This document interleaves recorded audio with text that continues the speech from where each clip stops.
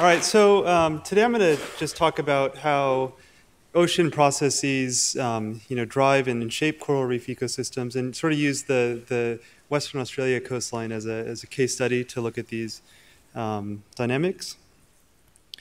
Okay, so Jim talked a bit about these these challenges with scale if we're going to predict, you know, the future of reefs with um, in respect to climate change. So if we think of, you know, diagrams like this, that the ocean contains a wide range of different um, hydrodynamic and, and, different water motion kind of processes that affect things like temperature variability on different scales. So if we think about really small scale processes like waves breaking on reefs, those are you know order 10, 10 meters or so. Um, going up to, to tidal motions, um, ocean boundary currents like the Leeuwin Current or the East Australian Current on this coast, um, and then all, all the way up to sort of ocean basin scale um, drivers that drive things like the ENSO cycle. Um, the focus of this, this talk is, is really going to be on these, these shelf and, and reef scale processes, which, as Jim was already showing an example, drive a lot of you know, the circulation and the and, and implications for temperature variability and so on. Um, the just to show some examples, if you look, this is a photo of Ningaloo, so this ties in with what Jim talked about, that a lot of the, the circulation and the physical variability occurs over relatively small scales, on the order of hundreds of meters within reefs like Ningaloo. And then this is um, showing a photo of, so Ningaloo Reef is along, along this, this um, Northwest Cape region, and you can see an example of, a, of an upwelling event during summer where the temperature in a thin strip about um, on the order of a kilometer to, to, five kilometers along this coast is actually five degrees cooler. Um, so there's also important shelf processes that won't that can't be predict, picked up by you know, uh, global uh, circulation models, um, things like NOAA's Coral Reef Watch, you know SST kind of products that aren't resolving down to sub-kilometer scales. And also, if we're looking into the future, even though typical GCMs have um, resolutions of a degree or you know on the order of 100 kilometers. There's been some work looking at the effectiveness of the hindcast predictions and re reproducing some of the dynamics. And these studies have found that actually the predictive skill sort of drops off at, you know, on the order of four to eight degrees, so on the, up to, you know, 800 kilometers. So we're really not resolving these, these important processes um, that influence reefs. Okay, so the, the WA coast in many ways is an ideal environment to, to look at these um, dynamics. Um, as Jim was highlighting, um, on, on the scale of individual reefs, it really tends to be wave forcing as, or, or tidal forcing that really dominates the, the, the circulation and, and um, on these reefs. And so if we look at, um, this is an annual mean um, wave energy plot, which is related to wave height, we see that the west coast of Australia gets a substantial amount of, of wave energy. But if we go up into the Pilbara and then the Kimberley, you can see that on, on average, the, there's, um, it's relatively sheltered, but this area also gets episodic extreme kind of events um, due to cyclones, which I'll discuss. But interestingly, if we look at the tides um, along Western Australia, it's, it's flipped. So in, this, in the southern part of Australia, we have um, really low tide, so microtidal kind of region. But if we go up into the, the Kimberley, it has, it's the largest um, tidal range in, in any tropical region in the world, up to, to 10 meters. So we sort of have these going from wave-dominated reefs to, to tide-dominated reefs in the, in the far northwest. And then I'll talk a bit about some of these shelf scale drivers. So um, uh, John Pandolfi was talking about you know, the poleward migration of, of um, you know, different species as, as in, in response to you know, the tra trajectories of ocean boundary currents like the East Australian current. On the west coast, we have the Leeuwin current, which you can see here is, is important because it moves, it transport transports heat down the coastline as you can see here. So this is important for really setting up the, the, the marine climate along Western Australia. And then there's also kind of shelf scale processes that, that drive extreme variability that are, that are also at these, um, at these scales. All right, so what I want to talk about um, first is these um, class of, of wave-dominated reef systems. And Jim talked a bit about Ningaloo Reef. Um, this is an area that gets a substantial amount of wave energy. And the basic mechanics of that, so if you look at um, a place like Ningaloo where you see wave breaking, you know, when you go, say, swimming on a beach and a wave breaks on you, you feel the force of that wave impacting. What waves do when they break on a reef or on a beach is they, they push, the force pushes water towards shore, so you move water across the reef flat into the lagoon, and that exits back to the ocean through the channel. So it's really sort of um, almost like a wave pump, which is these, these waves are pumping water and, and really controlling the circulation, and importantly, the exchange of water between um, offshore and, and onshore. Um, just to show how, how important waves are to, to the circulation of places like Ningaloo, this is just um, some field data just showing at three locations on the, on the reef where you can see on the y-axis is the, the current speed. The x-axis is just the offshore wave height, and you can see that very strong correlations. Um, even though there's tides operating and, and winds and so on, it's really, you know, waves are really dominantly driving the, the flow.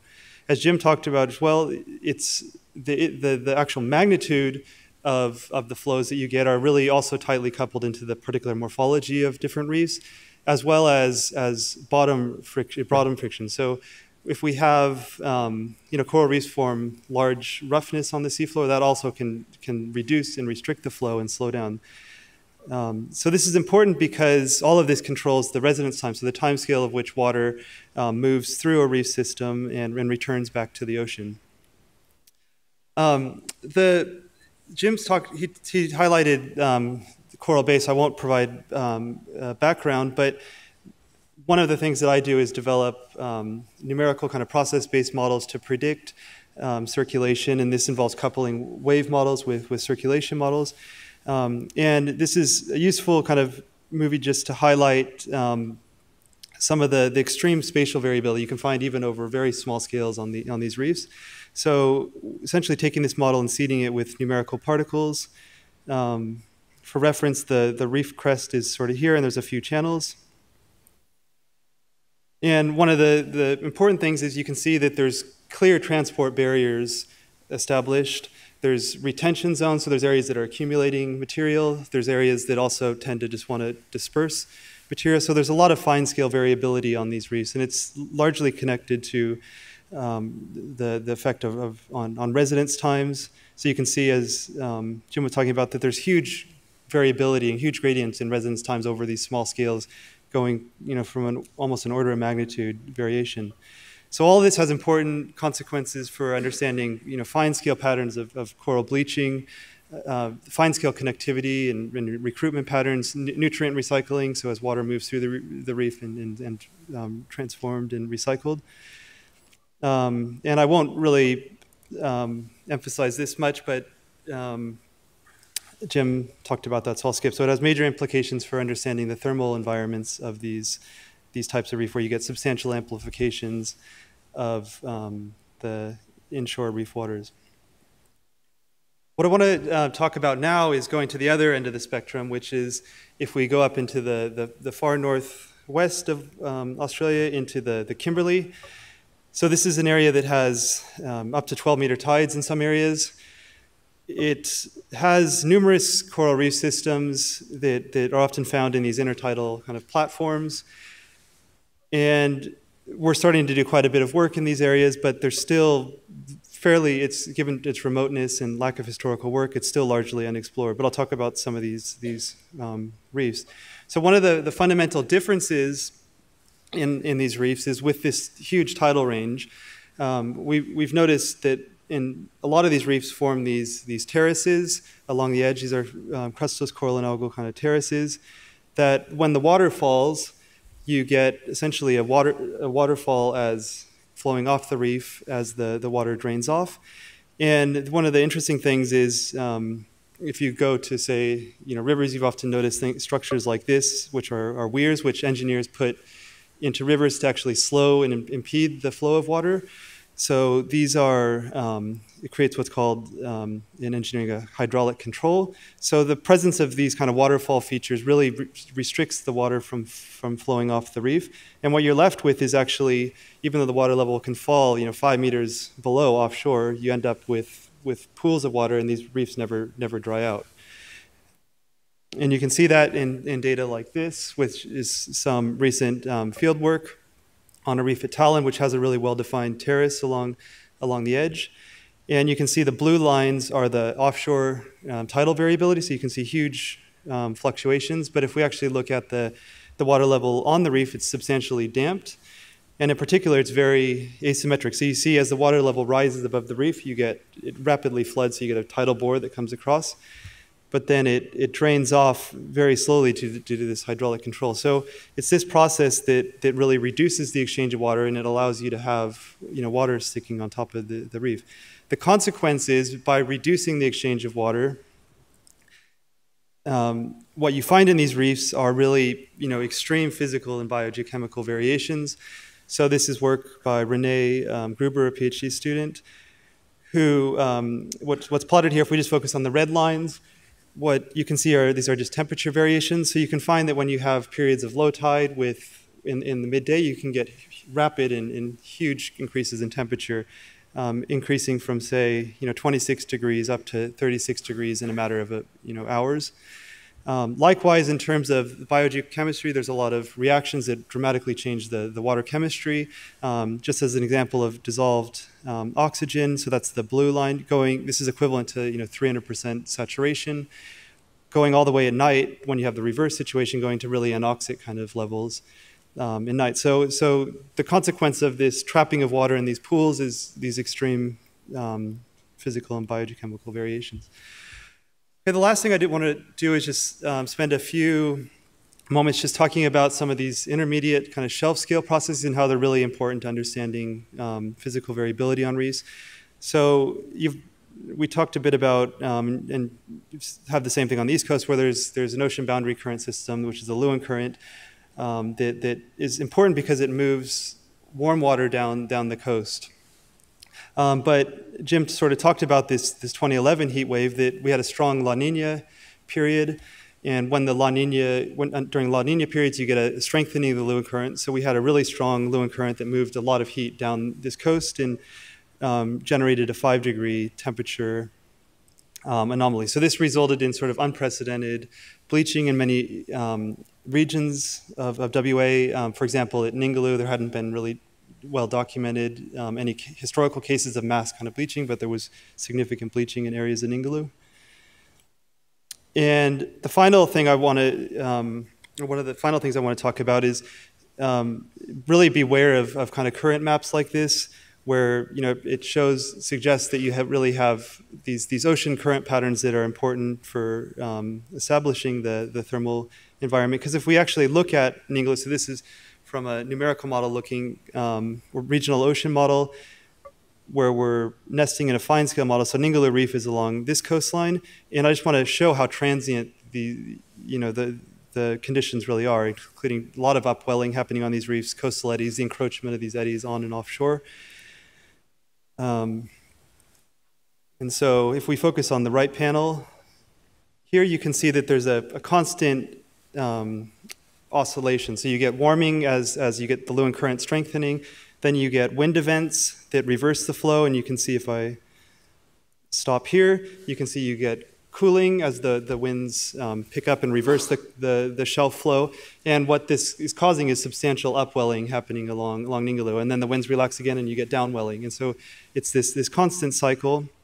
And the, the, the implications for this, again, going to the importance of, of scales, is if we look at um, the, this is using one kilometer um, SST imagery, that you can see that historically in the summer there's on average um, this tongue of, of, blue, of blue, which is the, the SST. So on average, in this narrow strip of a few kilometers, you have temperatures that are, that are on the order of um, three, three degrees or so cooler um, and this is really driven by, by upwelling. And the same thing with the, the, temperature variability. So you can see that in models like this, you get the uplift of the isotherms and an uplift in the, the velocities.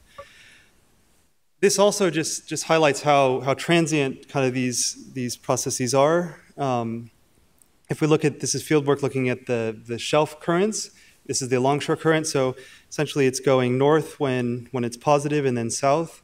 And so you, what you see on this coast is every week, one to two weeks, you get this oscillation of the flow going north, south, north, south, which causes upwelling, downwelling, and, and so on. And what we've done and, shown is that this is tied into the, the what's called the synoptic weather band. So the time scale on this coastline through which you have wind patterns coming through is on the order of one to two weeks, and it's driving a lot of this, this variability. So, so the ocean is very you know, it's non-steady. You don't have constant current systems along this coast, and this drives substantial temperature variability. Okay, the last last slide is um, just want to just acknowledge that that cyclones are obviously also very important along this coast. If um, we look at the Pilbara coastline, it's it's the most severely impacted. It gets the most severe um, tropical cyclone impacts in these these red areas. There's very little work, at least on the inshore areas of the, the Pilbara, on, on, on the impacts of these, these cyclones. The most obvious effect is, is waves, so we're doing some work looking at um, running wave models and looking at how that can predict some of the, the disturbances and the impacts of cyclones along the coast.